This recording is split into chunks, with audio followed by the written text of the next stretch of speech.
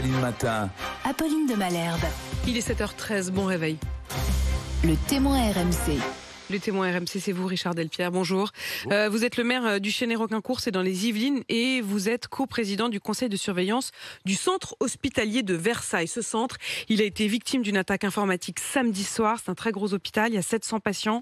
Il y a 3000 personnels soignants. Les serveurs informatiques sont attaqués. Est-ce qu'ils sont toujours hors service au moment où on se parle? Il y a près de trois quarts des serveurs qui sont hors service aujourd'hui. Ça n'empêche pas l'hôpital de fonctionner, mais forcément, ça ralentit les opérations. Le ministre de la Santé s'est rendu sur place euh, hier soir, vous y étiez. Il a dit que l'attaque avait été détectée suffisamment tôt, que ça aurait pu être pire. Est-ce qu'on a une idée de qui fait ça et pourquoi? Non, l'enquête euh, est évidemment en cours, elle est euh, à la main de la gendarmerie, mais je crois qu'on est en face en fait d'une nouvelle manière de faire la guerre. C'est pas une attaque isolée, c'est pas une opération d'un ou deux hackers, c'est quelque chose de délibéré, de la même nature que ce que l'hôpital de Corbeil-Essonne a eu à vivre au mois d'août. Ça nous dit des choses sur la nécessité de protéger nos équipements vitaux, et les équipements de santé, mais pas que. Mais euh, on est en face de quelque chose de délibéré, de ciblé. C'est pas le fruit du hasard. Délibéré, ciblé, sans objectif d'argent. L'objectif n'est pas celui-là. Il y a une demande de rançon, mais je ne crois pas que ce soit le sujet. De toute façon, bien évidemment, on ne paiera pas la rançon. Et puis, euh, les dégâts sont là. Hein. On n'est pas en train de demander une rançon en contrepartie d'une non-attaque. L'attaque a eu lieu. Euh, donc, en fait, c'est pas le sujet. Et si vous payez, il remettrait en service ou, ou même pas? On ne paiera pas de toute façon. Vous ne payerez pas Et pas comment vous débrouiller du coup pour euh, rétablir la situation? Euh, Comme à chaque fois sur ce genre de cyberattaque, on va euh, remonter le moment où on a identifié l'arrivée du virus. Et on va remettre surtout en place en parallèle d'autres systèmes qui permettent d'avoir l'assurance qu'à aucun moment on ne fait prendre de risque aux patients, parce que c'est évidemment la priorité absolue.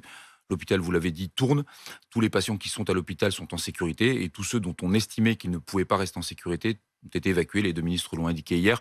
Il y a six patients, dont trois nouveau-nés, qui sont partis sur d'autres établissements de santé parce qu'on ne voulait pas prendre le risque qu'à un moment le virus se propage et vienne attaquer des systèmes de santé qui mettraient en péril la vie des patients les plus fragiles. Et on, passe, on parle de virus informatique, euh, évidemment. Tout ça est, d'ailleurs assez sidérant parce qu'on se dit dans une période, euh, on est au mois de décembre, euh, avec des épidémies très importantes et le virus qui, qui, soudain met encore plus la pagaille là-dedans, c'est un virus informatique.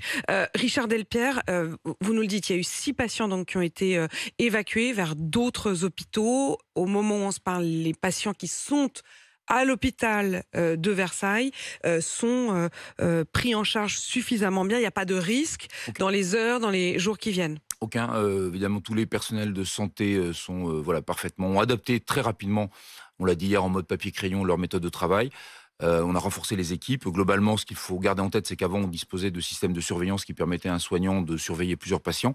Aujourd'hui, ça n'est plus le cas. Donc, on a adapté la capacité d'accueil de l'hôpital à ce que les soignants pouvaient donner. Et donc, en face de chaque malade, il y a un, soignant pour la faire simple. Ça veut dire que ceux qui ont été évacués, c'était vraiment les, les, plus critiques.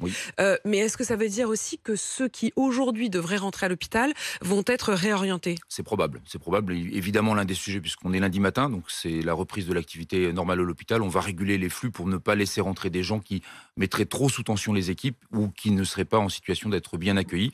Alors évidemment, il y a les rendez-vous Hein. Le Covid nous a appris à les décaler, à les planifier.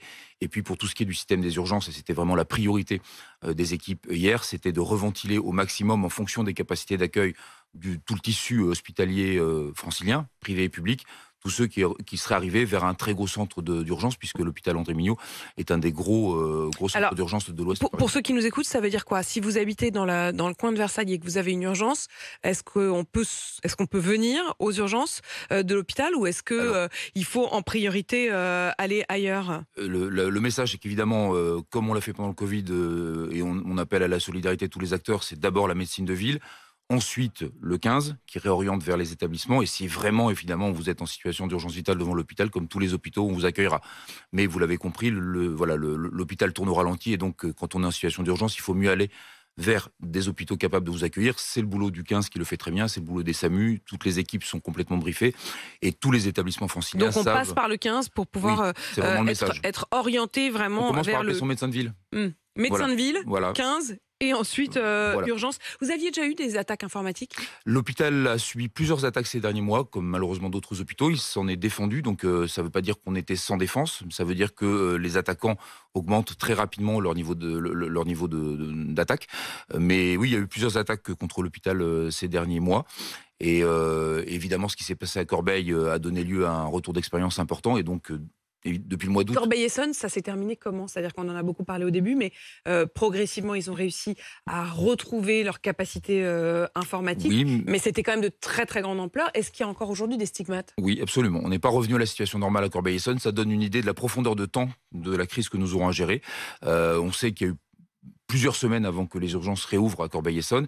Et à l'heure où on se parle, on n'est pas revenu à une situation nominale. Donc c'est vraiment un travail de longue haleine pour permettre aux équipes de restaurer intégralement l'environnement informatique. Ça veut dire que potentiellement, il n'y aura pas d'urgence à Versailles à Noël?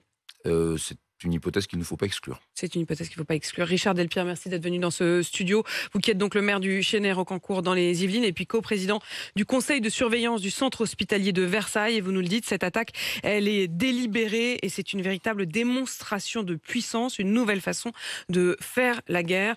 Ceux qui nous écoutent, hein, notez bien qu'il faut passer par le médecin traitant ou le 15 si vous habitez dans la région des Yvelines. Est 7h19.